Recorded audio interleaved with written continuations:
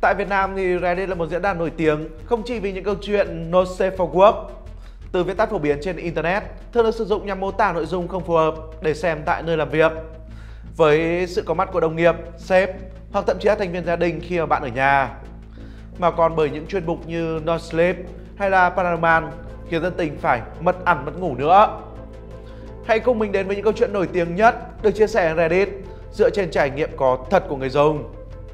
Cư dân Reddit chia sẻ trải nghiệm ma quái với sinh vật bí ẩn nhất mà họ từng chạm trán. Người dùng Word Blender Chuyện này xảy ra con trai tôi khi nó mới 17 tuổi. Chúng tôi sống ở New Mexico vào thời điểm ấy. Con trai tôi Cody đang cưỡi ngựa cùng bạn của nó là Drew và Alex. Ba đứa đang ở trong xe tải của Drew và Drew đang lái xe. Lúc đó thế là ban đêm và chúng đang đến nhà của Drew. Toro sống ở miền quê nên đường đi rất hiu quạnh và chỉ có sa mạc mà thôi. Lũ trẻ nghĩ đến việc đi vòng qua ông ta hay đi đường khác. Đột nhiên, ông ta bò trên bốn chân và chạy phía xe tải. Lũ trẻ bắt đầu la hét vì sợ. Toro vội quay xe và phóng ngược trở lại với một người ông đang đuổi theo ngay sau. Ông ta rồi đã bắt kịp được cả chiếc xe tải. Toro đi nhanh hơn và cuối cùng là cũng thoát được. Chúng lái xe về nhà và quay trở lại nhà tôi. Tôi đang ở trong phòng khách thì chúng chạy vào, đóng sầm và khóa cửa lại, đi lên cầu thang. Tôi đi lên để xem chuyện gì đang xảy ra. Đây là lúc chúng kể tôi nghe câu chuyện. Tôi chưa giờ thấy chúng hoảng sợ như vậy. Và tôi cũng hoảng sợ.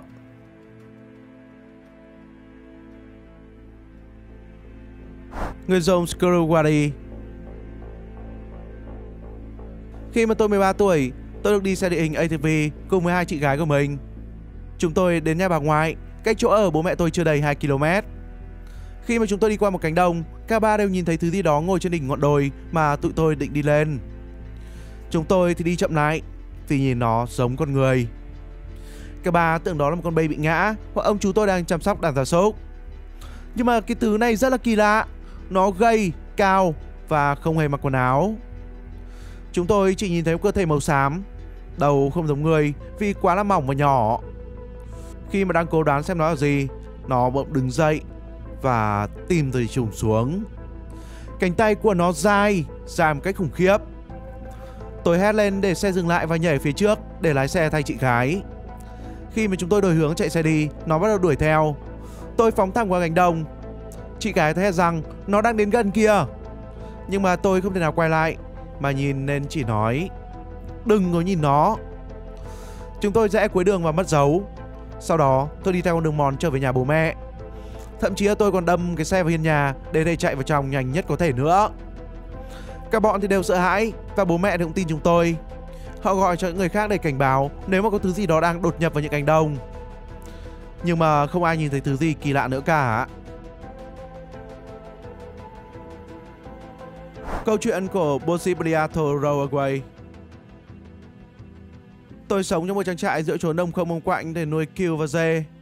Tôi thường dậy vào lúc khoảng 7 giờ sáng hàng ngày để đi cho chúng ăn. Nhưng có một điều kỳ lạ xảy ra buổi sáng nay. Tôi ờ, đi xuống hàng rào, thấy có một thứ gì đó kỳ lạ phía xa chuồng cừu. Lúc đầu tôi nghĩ rằng con cừu đang bị treo lên cột hàng rào. Nhưng mà khi đến gần hơn, tôi nhận ra rằng con cừu đang đứng với hai chân sau của nó. Tôi đã đứng chôn chân khi cách nó chỉ còn một đoạn. Sau khoảng 30 giây, con cừu mới quay lại nhìn tôi. Nó thậm chí còn chẳng hoảng hốt khi thấy tôi đang nhìn nó, mà chỉ nói Ồ, chào buổi sáng. Rồi thả người xuống, đi bằng bốn chân và ăn cùng những ân kiều còn lại. Giọng nói đó giống như của một người đàn ông nhưng rất là kỳ lạ, như thể là vừa bị ai đá vào cổ họng vậy. Và cuối cùng thì đó chính là người dùng Apprehensive A9012 Hôm đó tôi lái xe về sớm Tâm trạng dầu dĩ, nên cứ vậy mà phóng. Có lẽ là gấp 25 lần tốc độ cho phép ấy. Có một chiếc xe chạy theo tôi, Nhưng mà tôi lại không biết có phải cảnh sát hay không.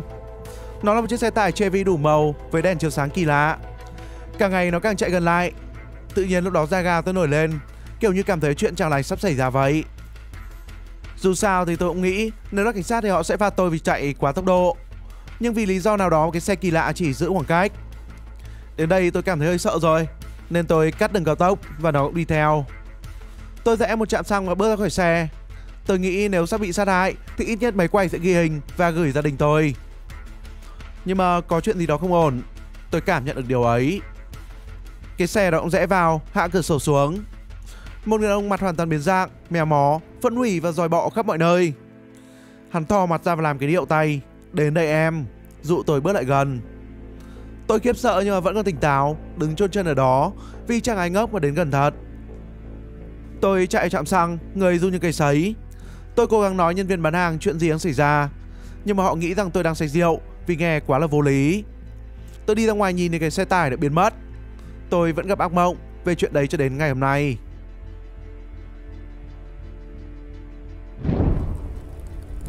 Bạn có câu chuyện bí ẩn nào muốn chia sẻ không? Hãy cho mọi người biết ở trong phần bình luận nhé.